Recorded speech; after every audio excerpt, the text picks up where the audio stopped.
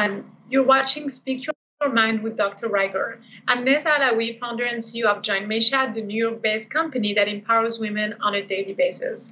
I'm here today with Dr. Risa Ryger, our clinical psychologist and investor in Mayshad. And our guests are our very own Mayshad mentees, Tess Levy and Sharmia Zurel. Hello, Dr. Ryger. Hi, Nessa. Hi. It's always so interesting to have this show with you, but it's always fun as well. So, um, c- can you just share with me something positive that happened this week before we get into the theme of the this episode? Sure. You know, one of the things that I really love is that sometimes there's, and sometimes and often, there really is great wisdom that comes from young children if we listen. And so I was um, meeting with a mom and young child, and this child, who I've known for a little bit of time, um, said, Dr. Ryger, uh, could you help me with another way to help calm my feelings down when I'm upset? And so that was a great moment. I mean, here's this young child, younger than what I call younger than two hands old. So under 10 years old. And this child already had the concept that that that they could be able to calm down, that they could be able to calm themselves down when they became upset and they needed just another strategy in order to be able to do that. And frankly, that is such a spectacular moment because there's the idea and the absolute belief that if I can learn some ways that I can have some mastery over my emotions. And to get that understanding and develop that when you're starting out below two hands old is something that you have for your whole life. So that was great. And Nessa, now I'm going to turn around and I'm going to ask you, you know, what was something positive that you experienced during the week? We'd love to know. Well, um, Dr. Ryger, when I hear you, I just find it so promising to look at the future and the next generations and how they are more advanced. So I will return to an experience of today when I was talking in the incubator program that we produce at Join Mayshad. I was talking to the mentees, and a lot of the learning lessons that we're sharing there are lessons that we're still sharing with women in their mid 40s in their 50s so to see that they are they have access to that learning at such a young age where they're figuring out who they are who they want to be how to get out of those feelings of, of guilt and and uh, pressure that we put on ourselves as w- women and figure that out at such a young age i am seeing them as future power leaders. And it just gives me so much hope so that's just great. Thank you. Thank you. So today's show is returning to college and new so- social boundaries. Um, we know that it's a challenging conversation for those of, of us who are parents or family members of college age students, the theme of going back to college. So, Dr. Ryger, let's discuss the symbolic nature of becoming an adult during this time period and at the importance of having the college experience? College can be one of the best experiences and also one of the most challenging experiences uh, because college, if you're going away to school and you're boarding, which each of you are, um, each of you is, I, I forgive me for that, um, that it's it's not piecemeal. It's really all at once.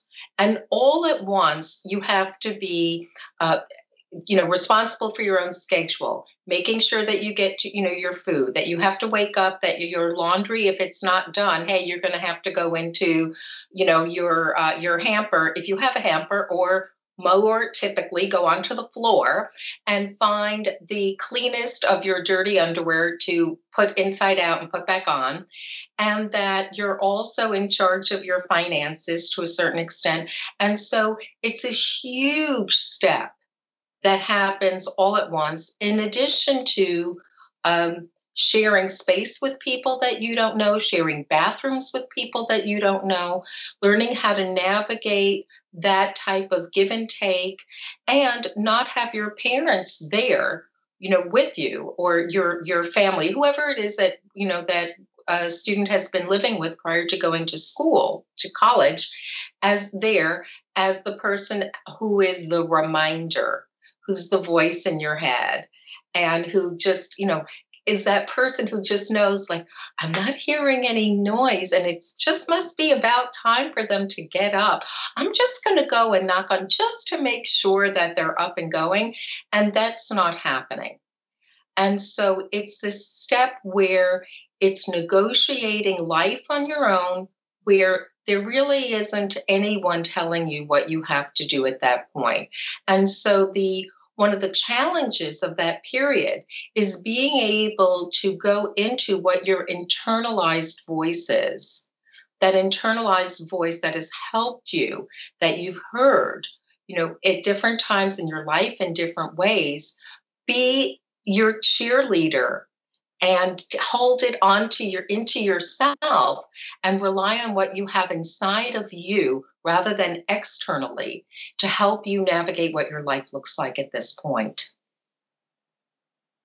Dr. Ryger, when historic events happen, they always have an impact on society.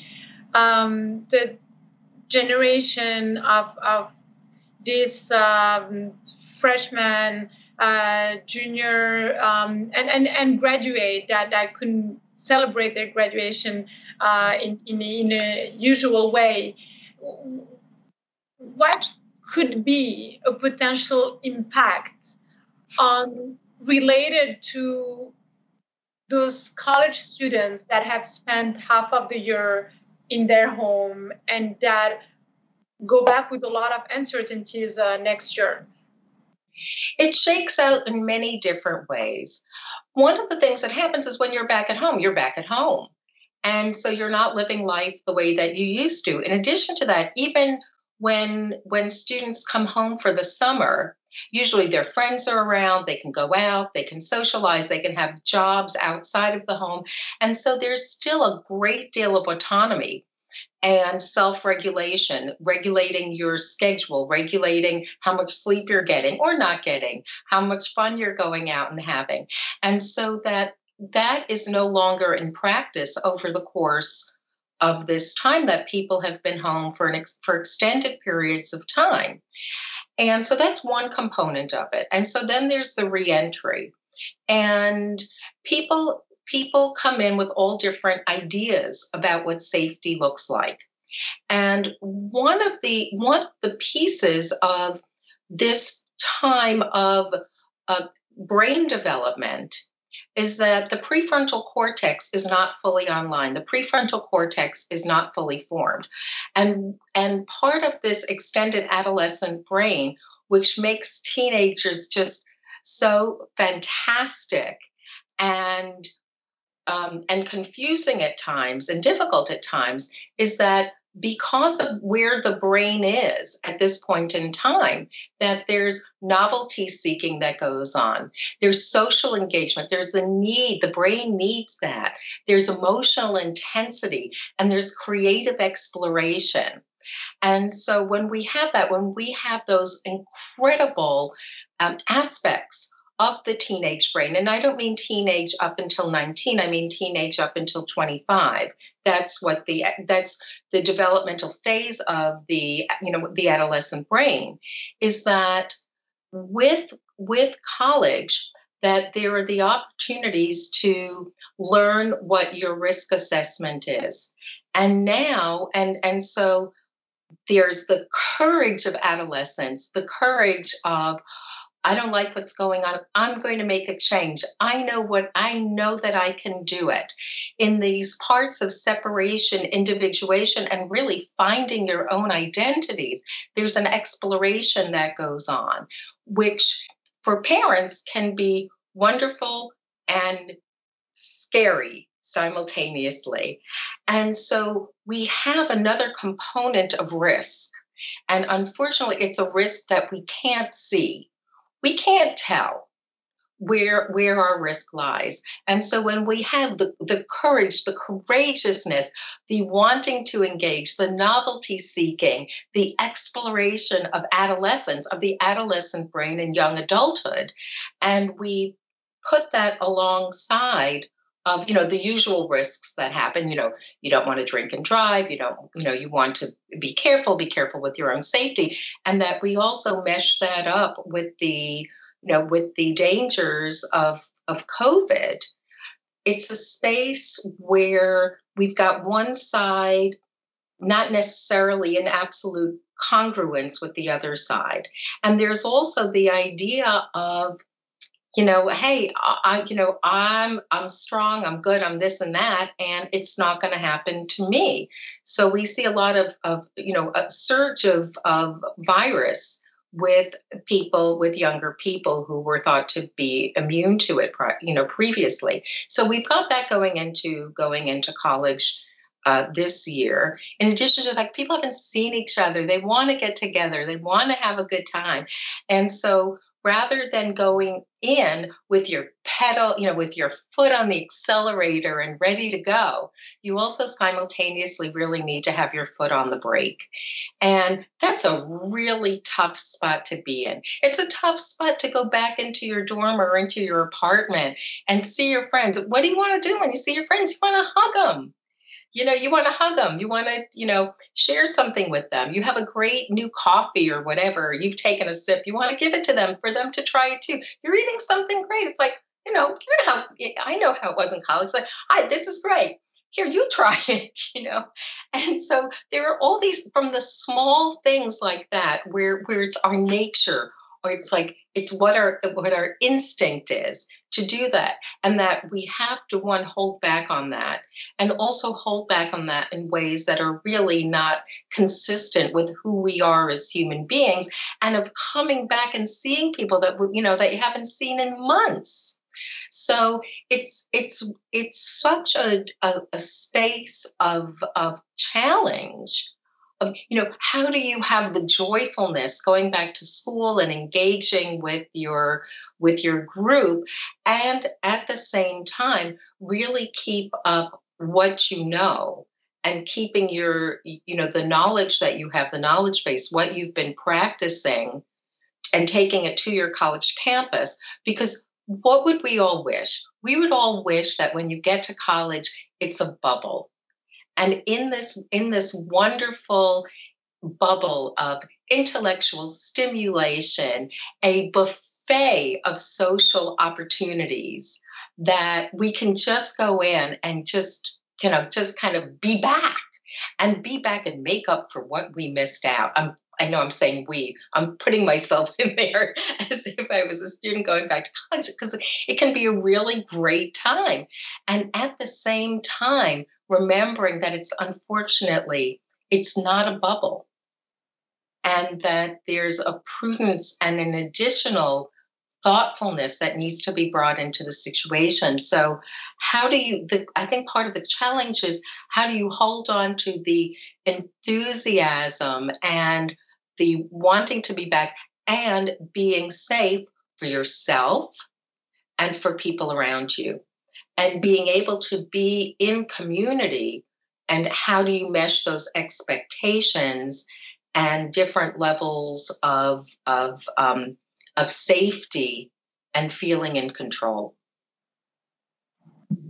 There is so much um, capacity building in the personality of a young adult in the college experience um, I, I, always thought that it, it's not it doesn't really matter on what you study. You might not know at that age exactly what you want to do for the rest of your life but just taking that experience of being independent being in an environment that is not protected by your parents and figuring out the social life while being structured and of course learning something that is interesting and that will always serve you whether you continue in that field or not. Um, yes so let's hope that um, that that college life uh, continues.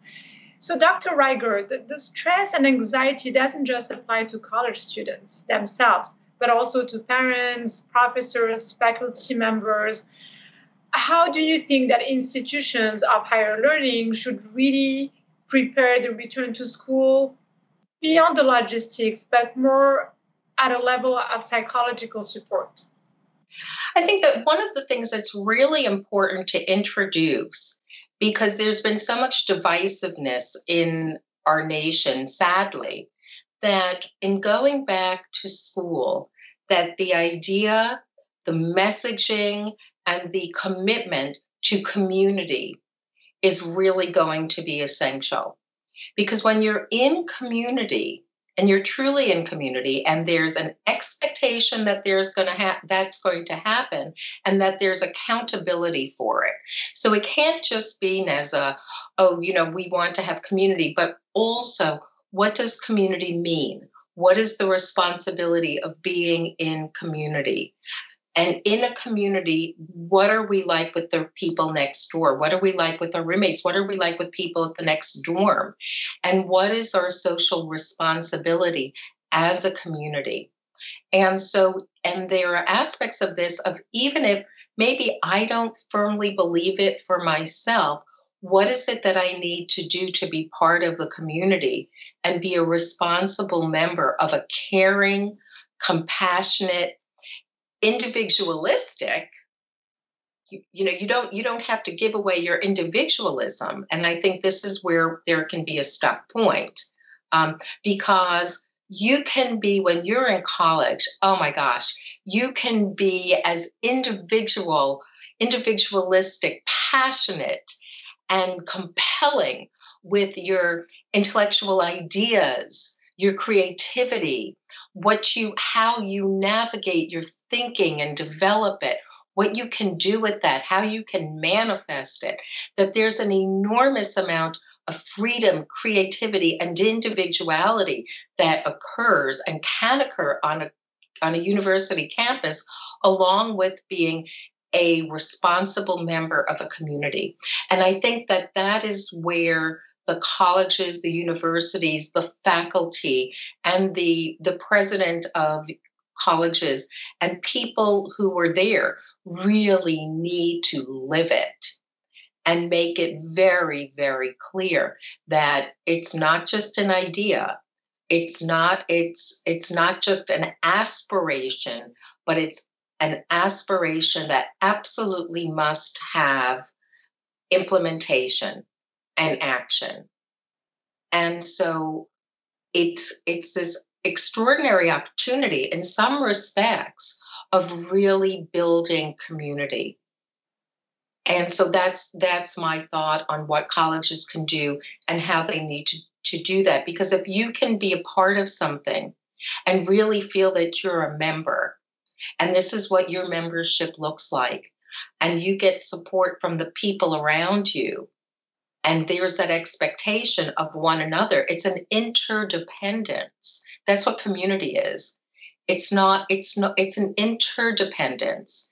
It isn't like um like codependency but it's interdependence. How do we work together and be ourselves and still be part of you know the the greater good and building something even more and so it can be an extraordinary experience in humanity, individual, individual internal building, building one's own resilience and fortitude and strengths, and, and taking on this kind of challenge. And at the same time, you don't have to give up your individuality. And, and we know, Dr. Ryger, that it, it hasn't been the age group that was the most cautious about um, uh, about the entire protocols of safety. So, so it is also pressure, I think, for those college students that were cautious and were in an adult environment, for them to return in an environment where suddenly they're being judged for being too stiff about the rules. They're being looked at not cool enough because they're wearing a mask when the party is going into, you know, like, hey, take off the mask, let's be more social. Come on, we live in the same corridor, we know each other, and so on. So, uh, how how can we avoid again? You, you know, the work at Mayshad, we're all about diversity and how yes. can we make sure that there wasn't there isn't again those living groups that get created and there is nothing wrong with living groups but how can there not be that animosity we suddenly we're the good ones and we look down at the other ones because because they're just because they're another group they're not our group mm-hmm. That goes back, in some respects, Nessa, that goes back to the aspect of community. And community doesn't mean homogeneous. Community doesn't mean that we all believe the same thing. We all look alike, we wear alike, we do alike. But that's not what community is. That is, you know, that's not that's not it.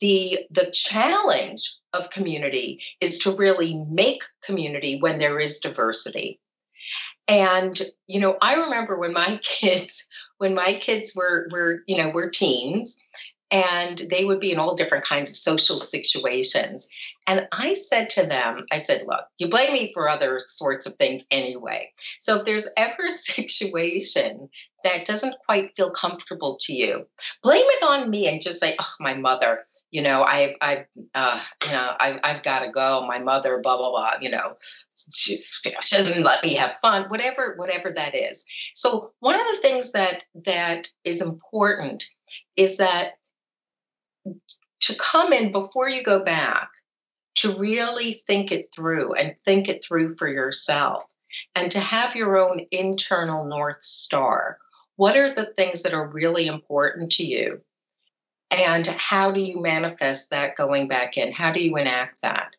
And that it's important to find other people as well who are who can understand where you're coming from, even if they may not necessarily agree with all of it, but they can understand where you're coming from and they can support you in that. And so that you know one of the things about about being in young adulthood being in emerging adulthood and young adulthood is that there's safety in numbers i mean this comes this goes way way back to our earliest you know to primitive times is that when you hunted alone versus hunting in groups you know you you did better you surviving in a group is better. And so that's something that that teenagers or you know our teens and our young adults feel very very strongly intuitively. Like i need to be part of a group because there's an aspect of that's where safety is. And so how do we you know stay with part of a group? And so what I, you know one of the things i was thinking about is you know there's like stand up for someone stand up for this and if you feel that what's going on isn't safe, you don't have to stand up for it because, and, and hear what I'm saying about that. It's not about needing to stand up because you're already standing. If you believe this, you are already standing. You don't have to stand up, you're already standing. And it's consistent with who you are. And all you need, if you have yourself and your conviction and there are people around you who you know it feels similarly you're not going to be you're not going to be alone and that there are going to be more people around you in the administration in your ras in people who are part of faculty who are going to be there with you and stand are standing already with you because you don't know faculty who are coming in and out. You don't know, and no one knows if they have a, a child who's immunocompromised or a parent or an aunt or somebody that they're responsible for. So it's not just going to the to the self, but it's really taking in the compassion and possibility and empathy of someone else's life experience.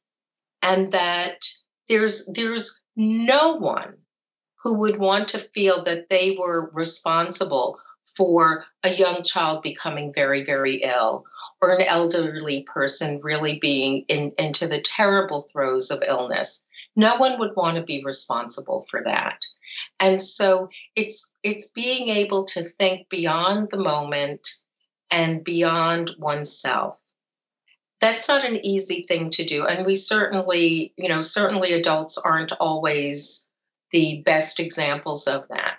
And so maybe that's a space that you guys do it better. It is a very special year. Um, there was COVID, but there is more that we're going to be talking about. Let me introduce our rising leaders. Um, Tess is a senior at Bradley University studying organizational communication, management, and leadership. And Charmy is in her second year at Barnard College in New York, where she's studying political science and human rights. Charmy and Tess, welcome. Can you talk to us about what's coming up for you in how you are preparing yourselves? What are you thinking and feeling during these times?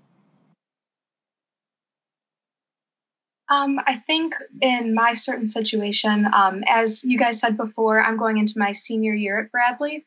And so instead of living in a dorm building or last two years I've lived in my sorority house, um, I'm actually going to be living in an off campus house with about six of my, yeah, six of my friends.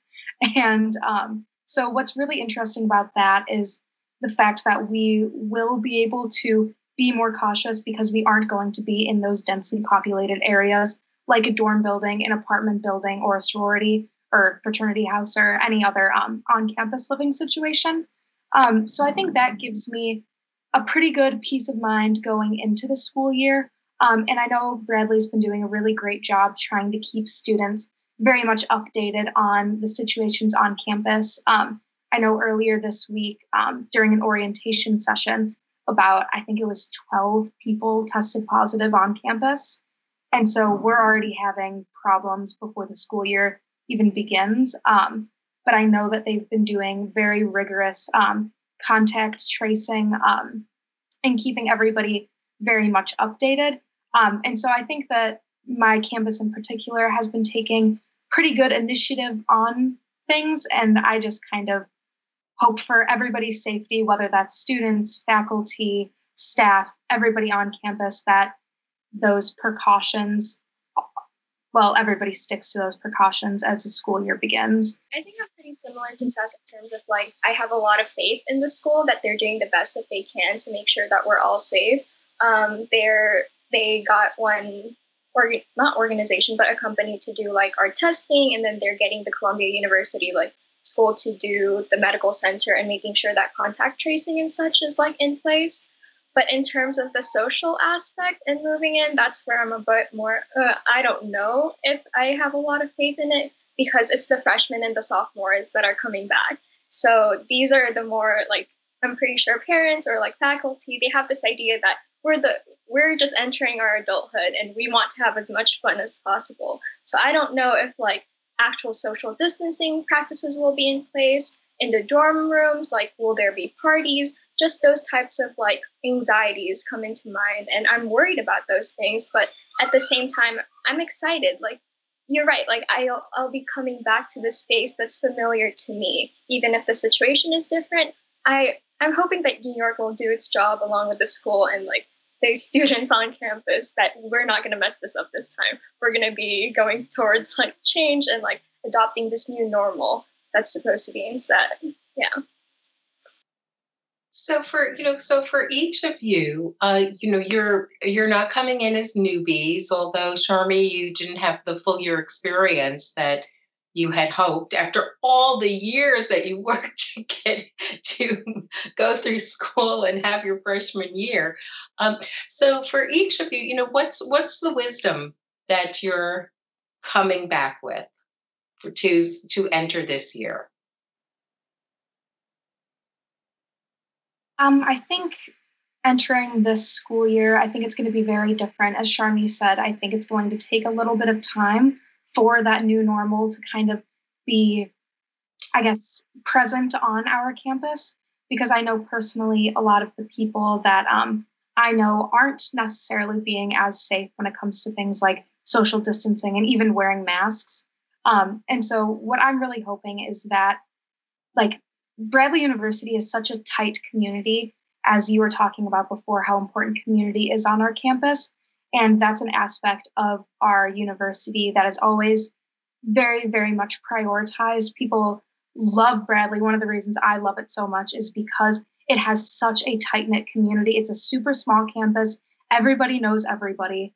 Um, and so, even if there are, I guess, a lot of different opinions floating around campus, um, what I'm really hoping going forward is that people are able to kind of compromise on those opinions and kind of see the greater good that you want to keep these members of your community safe. Like I said before, whether it's students, faculty, staff, you want everybody to be safe, you want everybody to be healthy, you want everybody to be happy and thrive in the university as they have in the past.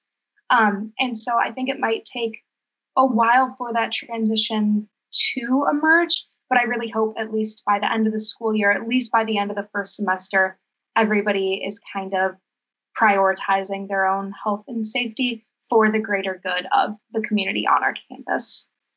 Mm-hmm. Yeah, I definitely agree with Tessa's point, especially about the community part. Like, we do have that duty to make sure that everyone is safe and that we try to keep everyone like healthy as possible. But I think in terms of wisdom, especially for like the incoming freshmen, I think I would just suggest to them like reimagine college life not strictly for like the independence or like the freedom or the parties, but really a place where you can like grow as a person academically. And that doesn't have to happen in terms of like in person interactions. I feel like quarantine has really taught me to connect with people no matter where they are in the world, that it's okay. You can still grow virtually and you can connect with a lot of people. And that doesn't mean you have to put your health like in like as a cost. So I think, yeah, just take advantage of the experience, whether that means virtual or like hybrid, because I'm definitely going to do that in terms of my academics. I was never the type of person to be like, hi professor, how you how are you doing? Like hope like we can connect. But now I'm like, you know, there's a chance like I can reach them through email. There's a lot of Zoom calls in session to make sure that I can learn as a person academically. So I'm definitely going to take advantage of that. I'm, I'm definitely transforming like my image of college campus, not just like my like Uh, escape from my parents or like a place away from home, but definitely a place where I can grow as a person and academically as well. And th- that's fabulous because you're you're creating more opportunities through this for yourself, but you're also realizing from not having been able to go to college for the past six months how college life is an opportunity on its own and rather than just leaving it as an observer coming in and out of classes as a ghost to actually feel like, oh, I can engage even more because I have this opportunity. So this year has been special with COVID, but also with Black Lives Matters and the anti-racial movement. So you are going back also to college transformed with more awareness, more education on uh, um, the, the history uh, of, of Black American people. So, can you tell us, um, Tess and Charmy, how how how has that changed you, and how will you approach things differently? I guess moving forward, um, I'm a part of our Greek life on campus, and I think that a lot of these racial inequalities are very much prevalent um, throughout our campus, very similar to how it's prevalent throughout the entire nation right now. Um, and so I think that kind of using my own voice in order to spread awareness of how that it's prevalent in our own communities is the best starting point, kind of the best launching point in order to make that a conversation that is happening on our campus constantly. It shouldn't be a once a semester you sit down and you talk about it. It should be no, that's a topic that you should revisit over and over because it's always going to be important because it's obviously very relevant. And um, I know that there's a lot of organizations on campus that have been leading different um, protests throughout the Peoria area, which is where I where my college is located, and a lot of students are putting um, kind of their their efforts in and voicing um, their opinions and going to these different protests. And so it's really great seeing that sort of representation on campus and how much it's really bringing a community of people together um, in order to make our campus a safer space. Um, and so I think even in like organizations, even in classes, but also in our personal lives, in our own like smaller friend groups, I know that it's a conversation that I feel like needs to be had within the people that I'm living with, um, just to make sure that I don't know. It's it's a conversation that always needs to be ongoing, no matter how small, no matter how large that social or that social circle is.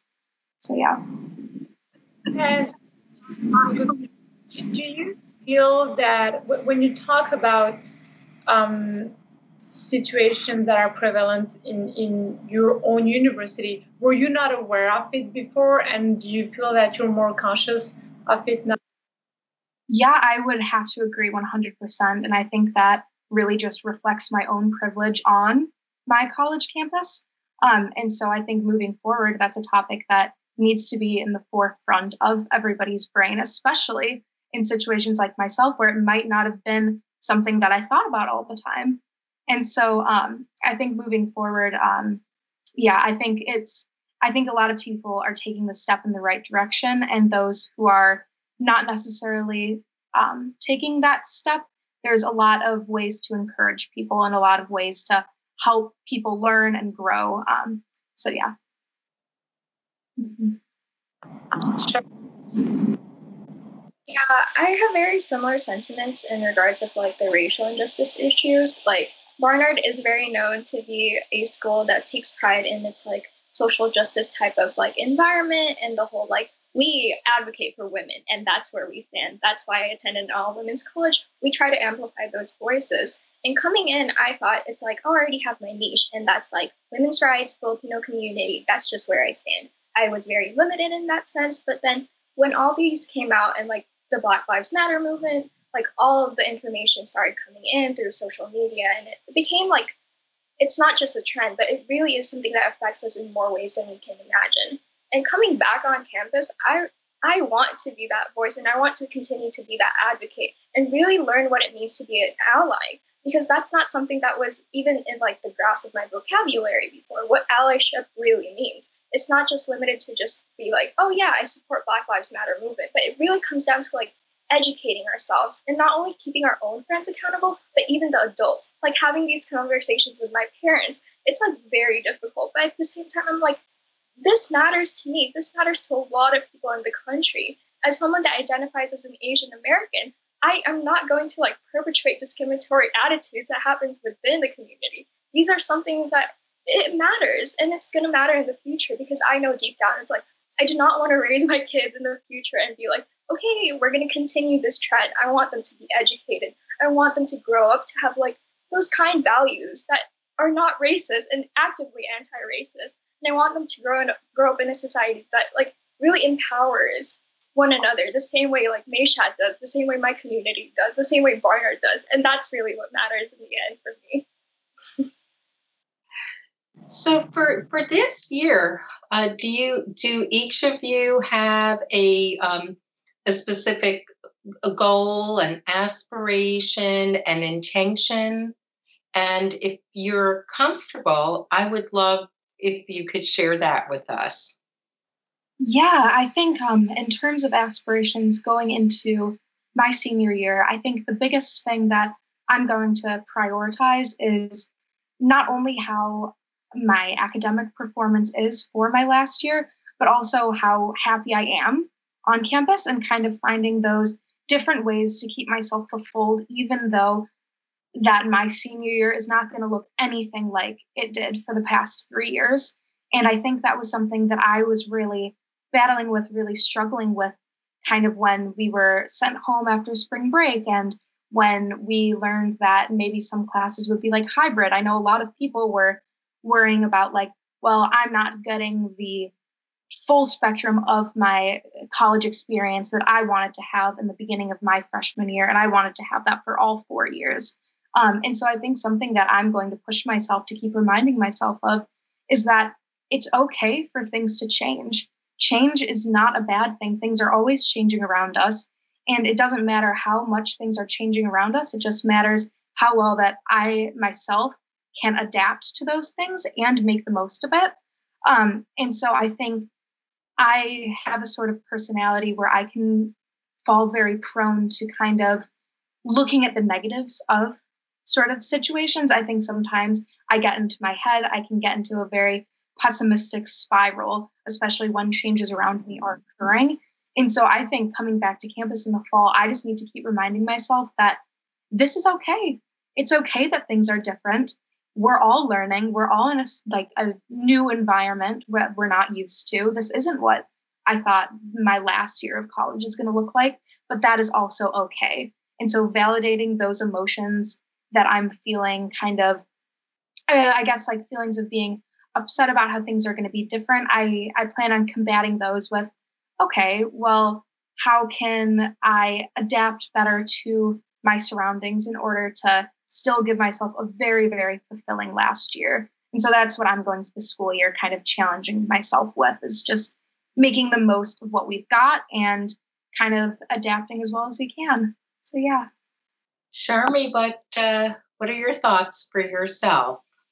Yeah, it's quite similar, but just a different approach. I think since we were all so isolated from quarantine, I felt out of touch in terms of like how I prioritize my mental health. And I know how stressful college environment can be. And like my way to cope last year was just being social, going out with friends more, like experiencing the city. But I know that's not going to be the case when I come back this upcoming semester. So I actually bought a journal and I plan on like really using that to not, not only organize my schedule and like see what my goals are, but really reflect on like what it means to be a college student in the middle of a pandemic. And I kind of just want to keep that as a keepsake for myself and look back in the future. It's like, hey, you went through something really, really big during your like younger years and look back at it and be like, you got through it. You got this. And it's kind of just like a way to keep myself pushing forward and like really keep myself like humble and like just let myself and like feel those emotions like what Tess was saying. Dr. Ryger, what a beautiful thought to leave our mentees and, and rising leaders with this vision of that what they want to accomplish. And I feel that both of you with these um, projections will go back with a goal. And that's also uh, a big part of what takes us through challenging times is the fact that we have an objective. There is something that we're learning here. Um, th- there is a goal that we're setting for ourselves that is realistic. And so, last question to close this very inspiring episode it's for you dr Ryger. where is the silver lining in all of this what do you think college students will learn about this moment in time that could make them more resilient and emotionally prepared for their own future? One of the challenges of both pandemics, right? Because we have we have two, we have we've got the double header here, that the challenges I think give us and and not in an out there kind of uh, abstract way but it really gives us the silver lining here. If there there's if there's silver lining and it's not just a silver lining perhaps rather than thinking of it as, as a silver lining that it really becomes our imperative as human beings is how how do we grow more how do we become you know even better people on this earth how do we support each other? How do we develop the strengths? And very importantly, that this is an opportunity to really rethink your mindset about yourself. This is an opportunity for all of us to really challenge what some of our beliefs have been, and that we don't have to stay in those mindsets anymore. We can expand, we can change things around, we can shift things in and out. That we have the the ability and we can have the adaptability and the word that i want to use is with everything going on it is so imperative that we find the courage within ourselves that we either knew we had but really didn't have to tap or that we didn't know we have but it's really there and for each of us to be where we are at this point in life it has taken courage, even if you don't recognize it as such. It has taken courage. And so take a look inside, connect with your courage, own it, tap it, and build it. You can reach me at Dr. R at expertinchange.com. And we're thrilled that you joined us today. You welcome to the sisterhood. And as always, we've reserved a seat for you.